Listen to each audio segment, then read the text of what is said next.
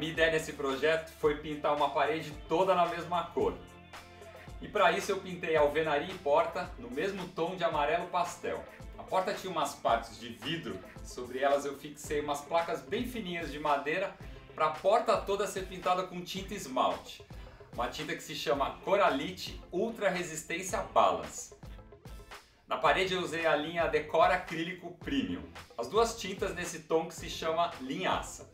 O esmalte tem uma aderência excelente, que facilita muito a repintura de portas e janelas, seja de metal ou madeira, sem descascar. O Coralite Ultra Resistência a Balas deixa seus móveis, suas janelas, portões e portas com aparência de novos por muito mais tempo se comparado aos esmaltes comuns.